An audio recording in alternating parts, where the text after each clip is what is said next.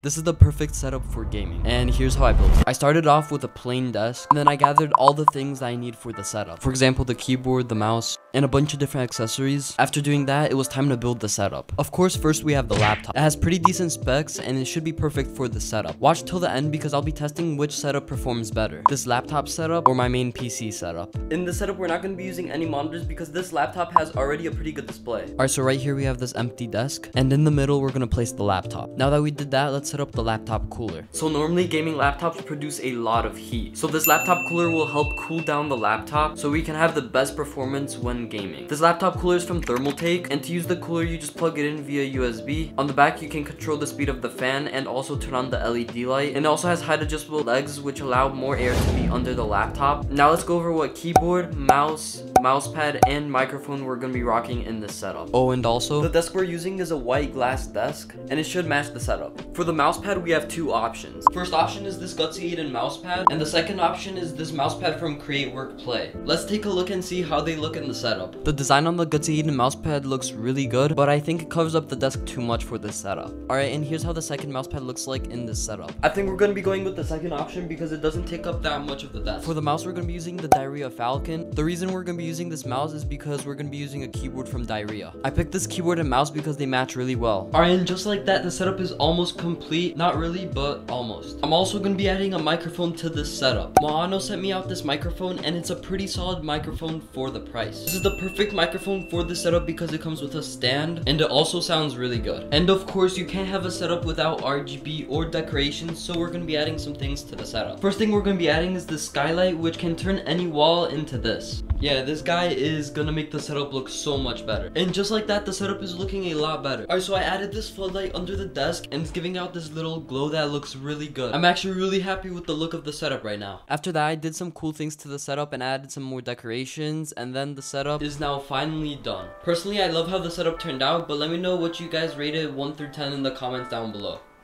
Alright, now I'm gonna give you guys a quick setup tour and montage, and then we're gonna test out the setup.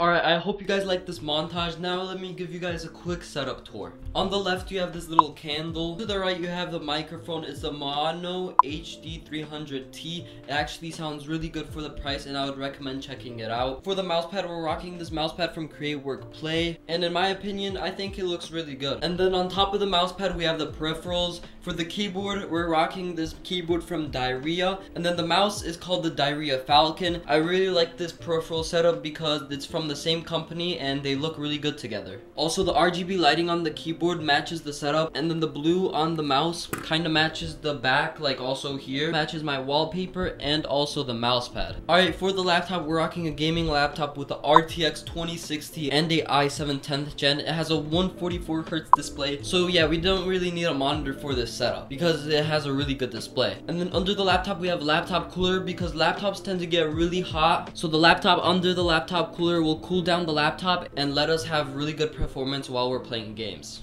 And then to the right of the setup, we have this little plant, and then we have a lamp. I really like how the setup turned out. Now let's see how it performs in-game compared to my PC. Alright, so my gaming PC will probably outperform the gaming laptop because it has better specs. Alright, so to make this a little bit funner, we're going to be playing a game of deathmatch on my laptop, and then we're going to be playing a game of deathmatch on my PC. So yeah, in the setup that I get the most kills is just going to be, I guess, the winner. Alright, so yeah, let's get into the deathmatch.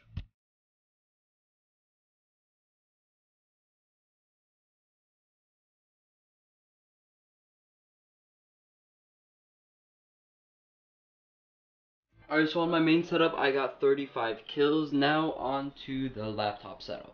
Alright, so for some reason, Valorant on my laptop does not want to update. Uh, it's at 45% and it's been there for like an hour. So yeah, thank you guys so much for watching. Subscribe if you want to see me build the best laptop streaming setup.